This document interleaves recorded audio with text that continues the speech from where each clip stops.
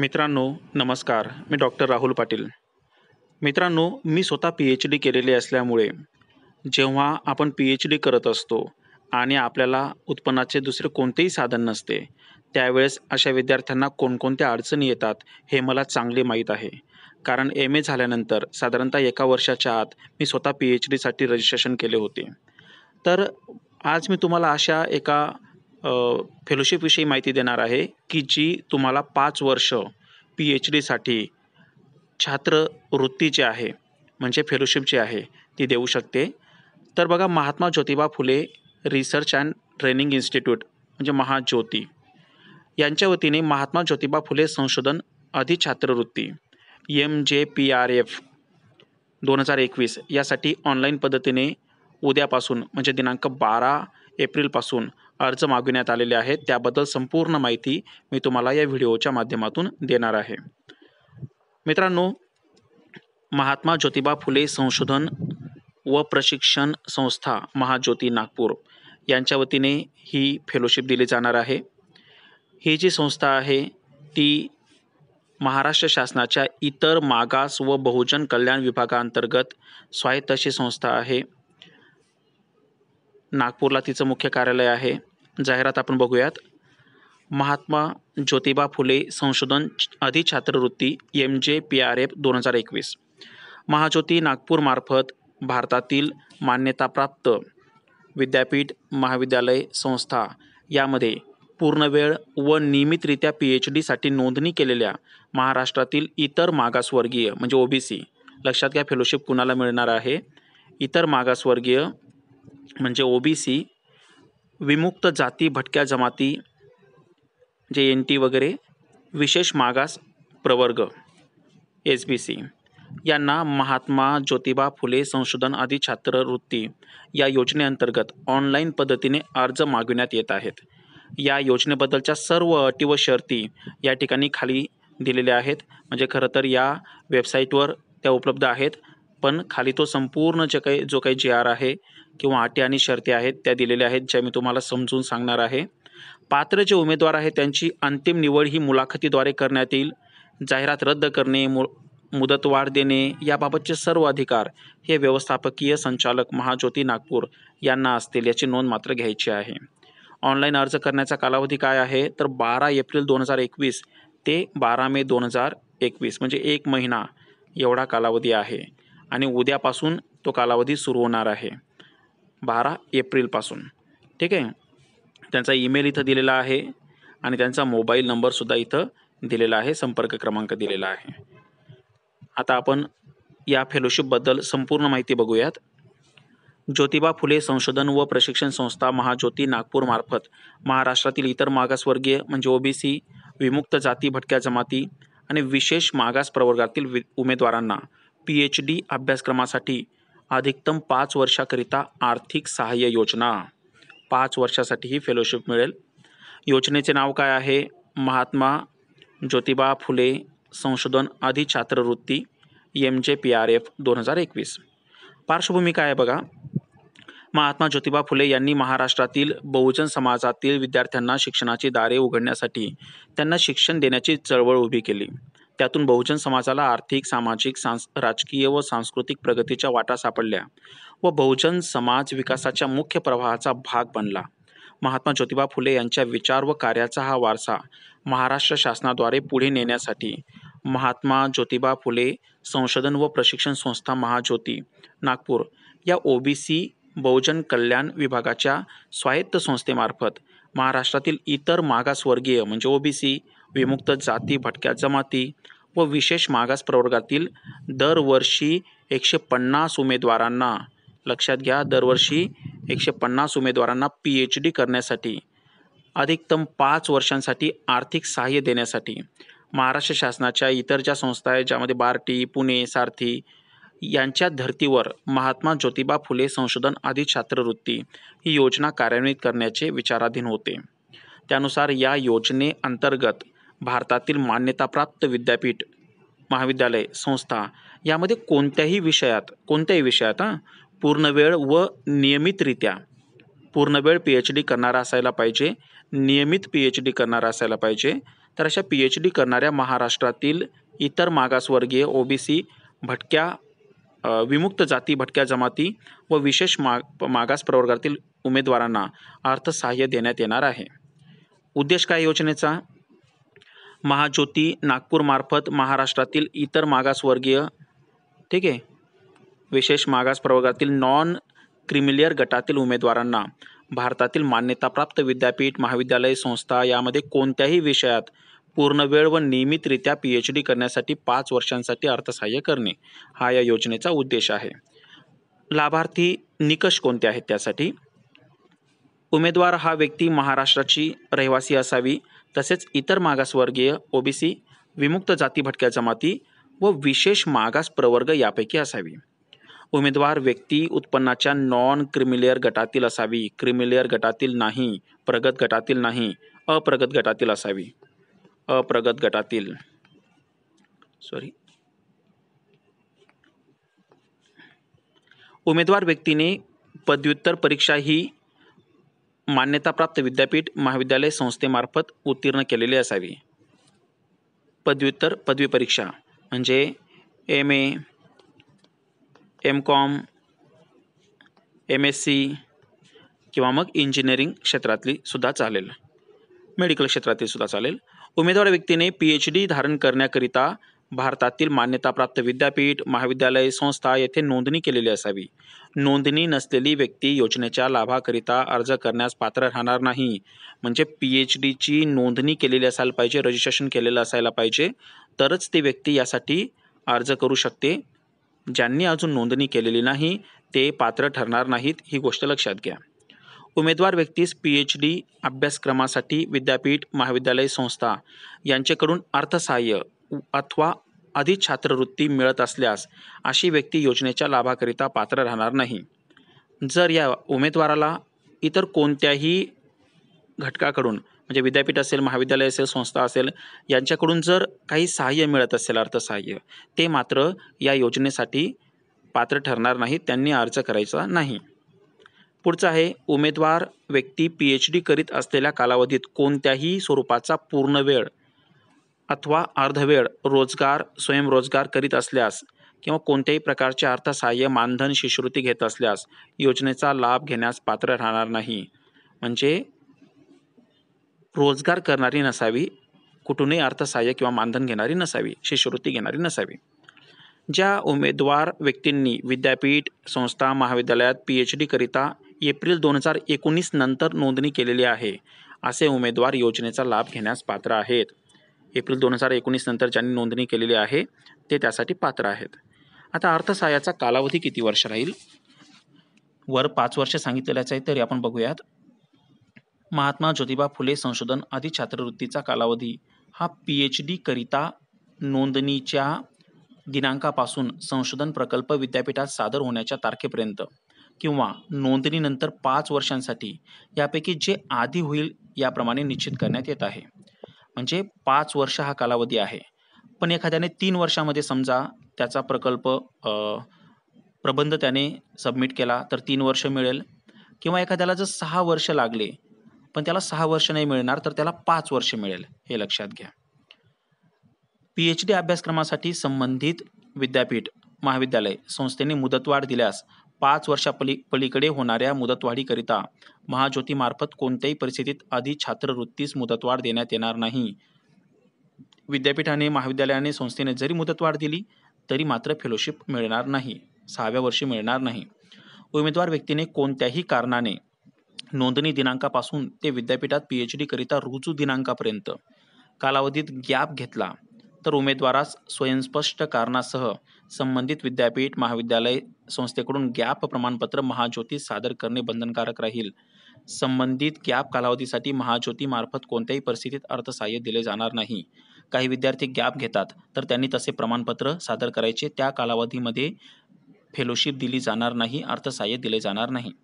उमेदवाराने P H डीकरिता दोन वर्ष पूर्ण केल्यानंतर संबंधित संस्थेतील विद्यापीठ महाविद्यालय मधील मूल्यांकन समितीकडून संशोधन प्रक्रियेचे मूल्यांकन करून घेणे बंधनकारक आहे. हा लक्षात. सदर प्रक्रिया दोन महिन्याच्या आत न होऊ शकल्यास संबंधित विद्यापीठ महाविद्यालय संस्थेच्या प्राधिकृत प्राधिकृत अधिकाऱ्याकडून विलंब झाल्याबाबतचा स्वयंस्पष्ट कारणासह अहवाल सादर करावा. अशा परिस्थितीत पुढील तीन वर्षांसाठीची शिष्यवृत्ती ही असा अहवाल मान्य झाल्याच्या दिनांकापासून देण्यात येईल याची नोंद घ्यावी. लक्षात घ्या दोन वर्षानंतर आपल्या पी एच डीचं नेमकं कार्य कुठपर्यंत पोहोचलेलं आहे त्याचे मूल्यांकन केलं जाईल आणि तो ते मूल्यांकन केल्याशिवाय पुढची फेलोशिप मिळणार नाही. आणि त्याला जर उशीर होत असेल तर त्या प्रकारचा अहवाल देखील तुम्हाला विद्यापीठाच्या संस्थेच्या किंवा संबंधित महाविद्यालयाच्या प्राधिकृत प्राधिकृत अधिकाऱ्याकडून तसा अहवाल सादर करावा लागेल. ठीक आहे? आता अर्थसहाय्य विवरण म्हणजे किती फेलोशिप मिळेल? खूप छान अमाऊंट आहे. बघा पी एच डीसाठी प्रतिमाह वीस हजार रुपये. प्रतिमाह वीस हजार रुपये पाच वर्ष किंवा संशोधन प्रकल्प विद्यापीठात सादर करण्याच्या दिनांकापर्यंत. यापैकी जे आधी घडेल त्या मुदतीपर्यंत. बरोबर म्हणजे एखाद्याने जर पाच वर्ष फेलोशिप घेतली तर वीस हजाराप्रमाणे एका वर्षाचे होतील दोन लाख चाळीस हजार रुपये. ठीक आहे? आणि अशी त्याने चार वर्ष जर फेलोशिप घेतली तर तो नऊ लाख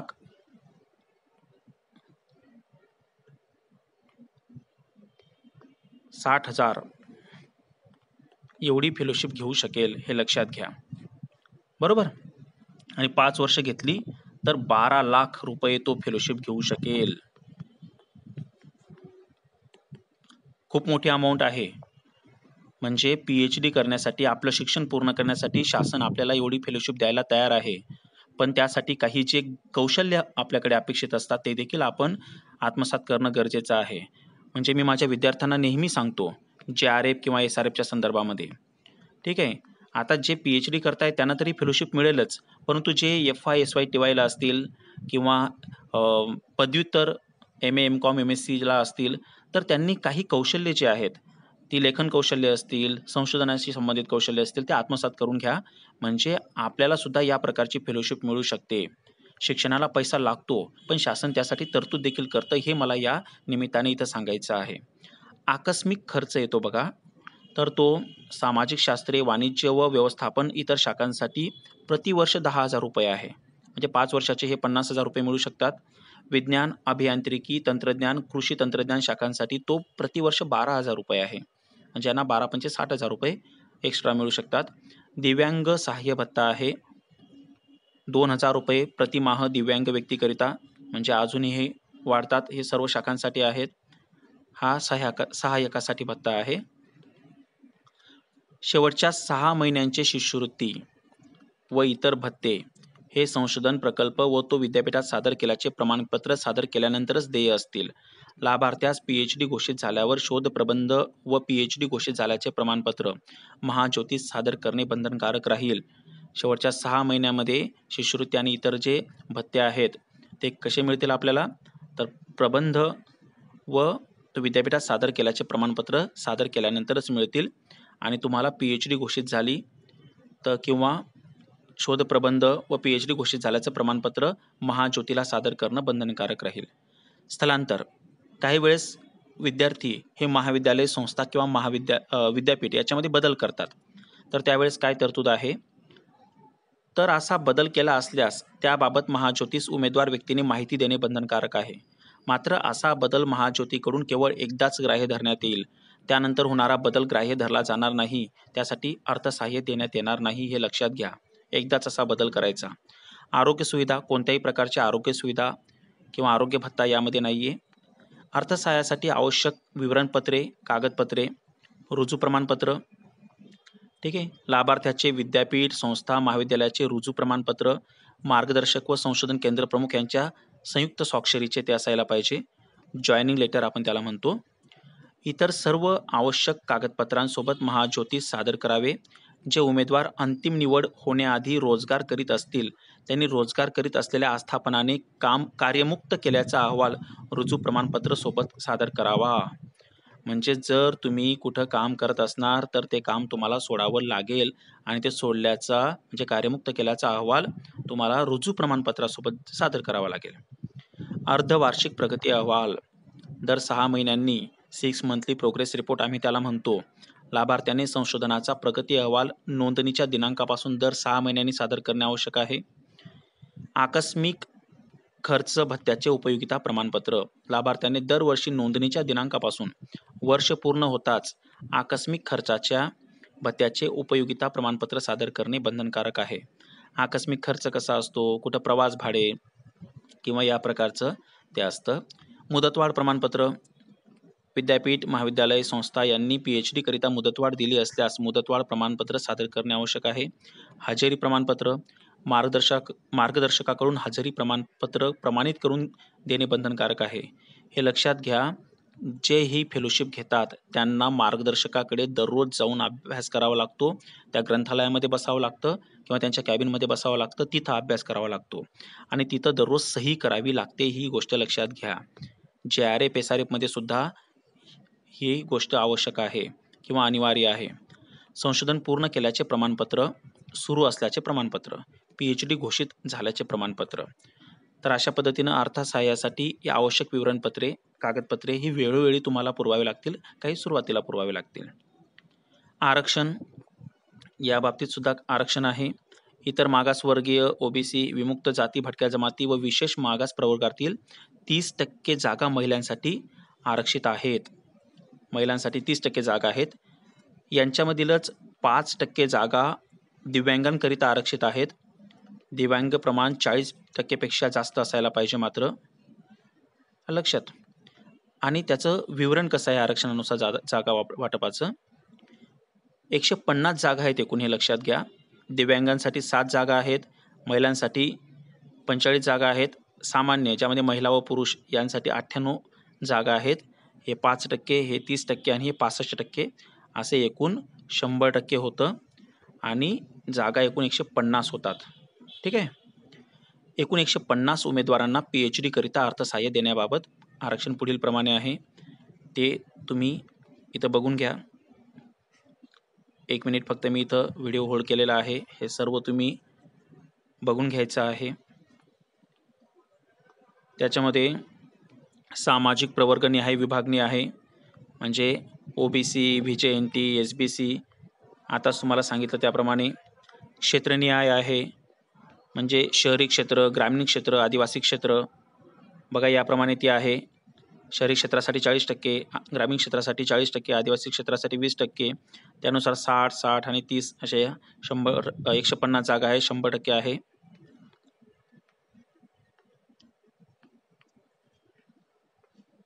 ठीक आहे? आणि मग प्रवर्ग आणि क्षेत्रनिहाय ही विभागणी आहे. बघून घ्या.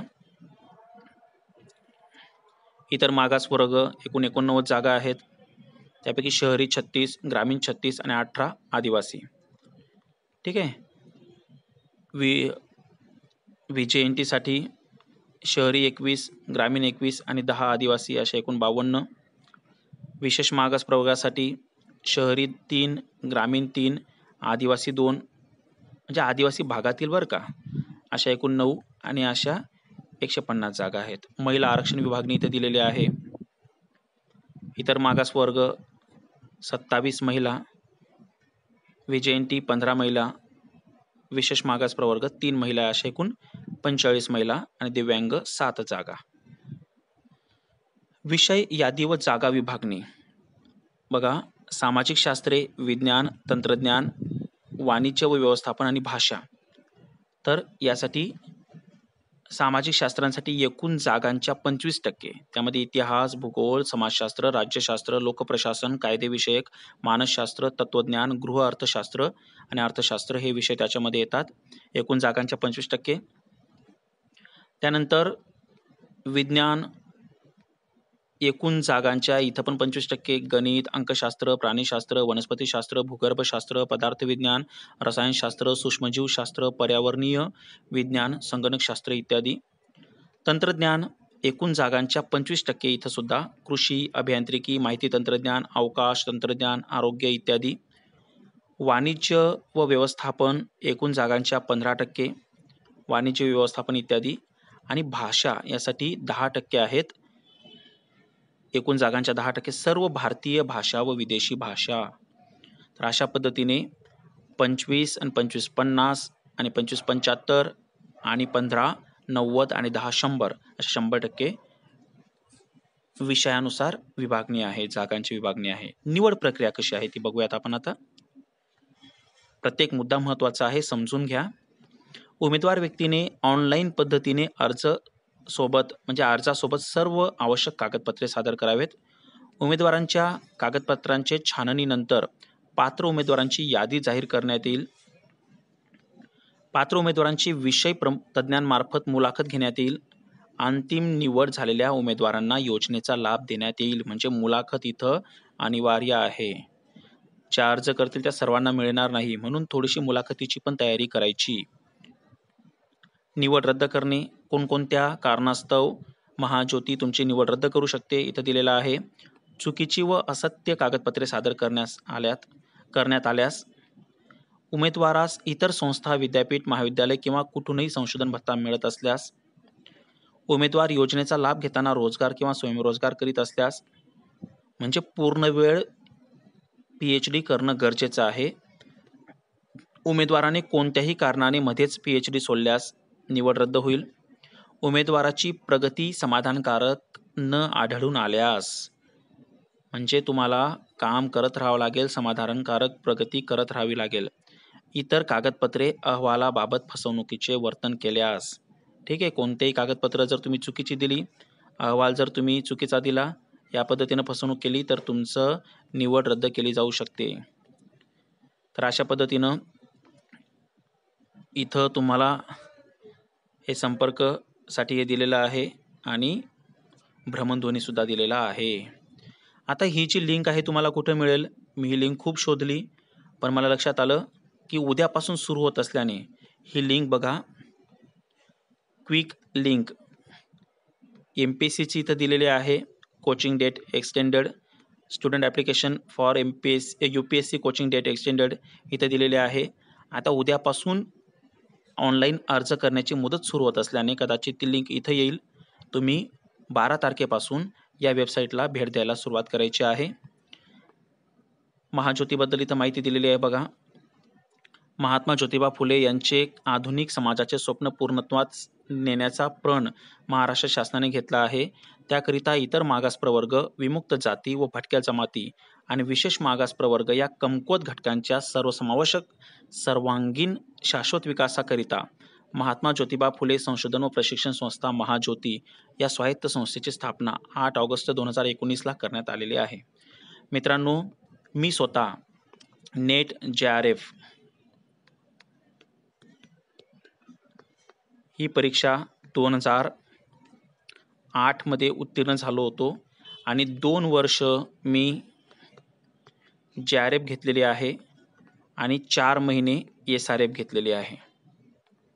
जे आर एफ म्हणजे ज्युनियर रिसर्च फेलोशिप आणि एस आर एफ म्हणजे सिनियर रिसर्च फेलोशिप याबद्दलसुद्धा एखाद्या व्हिडिओमधून मी तुम्हाला माहिती देणार आहे. जेव्हा आपल्याला नोकरी मिळत नाही आणि आपण संशोधन करत असतो तेव्हा यासारख्या फेलोशिप या आपल्याला खूप फायदेशीर ठरत असतात. तुमच्या एक गोष्ट लक्षात आली असेल की या फेलोशिपच्या माध्यमातून तुम्ही पाच वर्षामध्ये बारा लाख रुपये घेऊ शकतात. म्हणजे तुम्हाला संशोधन करताना कुठंही आर्थिक अडचण येणार नाही. एवढी ही फेलोशिप आहे. परत आकस्मिक निधी तुम्ही पन्नास हजार रुपये घेऊ शकणार. ठीक आहे? तर अशा पद्धतीनं तुम्हाला उद्यापासून म्हणजे बारा तारखेपासून पुढील एक महिने ऑनलाईन पद्धतीनं अर्ज करायचे आहेत. आणि त्यासोबत तुम्हाला इंटरव्ह्यूची म्हणजे मुलाखतीची पण तयारी करायची आहे. तुम्हाला या संदर्भात कोणत्याही अडचणी आल्या तर तुम्ही इथे जे नंबर दिलेले आहेत त्या नंबरवर संपर्क साधायचा आहे. For any queries contact Mahajyoti. ठीक आहे? आपले जे प्राध्यापक आहेत मार्गदर्शक आहेत त्यांच्या संपर्कात राहायचं आहे मुलाखतीची तयारी करायची आहे. तुम्हाला जर हा व्हिडिओ आवडला असेल तर तुमच्या मित्रांना शेअर करा आणि आपले जे लहान भावंड असतील किंवा आपले जे ज्युनियर विद्यार्थी असतील त्यांना अभ्यासासाठी प्रवृत्त करा. शिक्षणासाठी पैसा लागतो परंतु शासन त्यासाठी काही ना काही तरतूद करत असतं हे त्यांना माहीत करून द्या. जेणेकरून ते भविष्याच्या दृष्टीने चांगला अभ्यास करतील पुढे जाऊन संशोधन करतील आणि आपल्या समाजाचा जो काही दर्जा आहे तो दर्जा उंचावतील. तुम्हाला या फेलोशिपसाठी आणि पुढील प्रगतीसाठी माझ्याकडून खूप खूप शुभेच्छा. धन्यवाद.